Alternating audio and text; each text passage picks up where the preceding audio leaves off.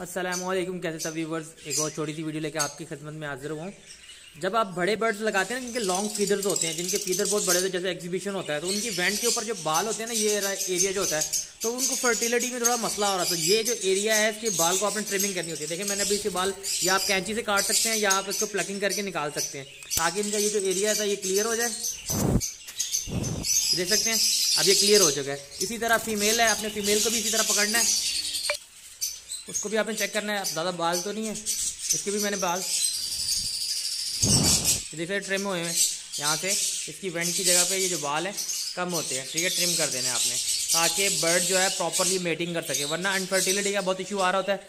अब बड़े जो स्पेशली एग्जीबिशन होते हैं, उनका यही होता है। एग्जीबिशन में ना, उनके बाल फीदर क्वालिटी बहुत लंबे होते हैं फीदर बहुत लंबे होते हैं। तो इस वजह से वो क्रॉसिंग करते हुए ना तो उनकी जो क्रॉसिंग प्रॉपरली होती नहीं है, फिर अनफर्टाइल एग्ज हो जाते हैं। तो इसलिए इस चीज़ का भी ख्याल रखें। अगर आपने एग्जीबिशन रखे हुए हैं अच्छी क्वालिटी में तो उनके जो है आप ट्रिमिंग कर सकते हैं, कैंची से भी काट सकते हैं बाल वेंट की जगह के।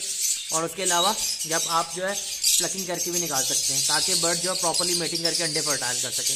तो ये छोटी सी इन्फॉर्मेशन थी, मैंने आप लोगों के साथ शेयर कर दूँ। इस तरह की इन्फॉर्मेटिव वीडियो देखने के लिए मेरे चैनल को सब्सक्राइब करें और बेलाइकन को लाजमी प्रेस करें, ताकि इस तरह की इन्फॉर्मेटिव वीडियोज़ आप देख सकें और मेरे पेज को भी लाइक और सब्सक्राइब करें।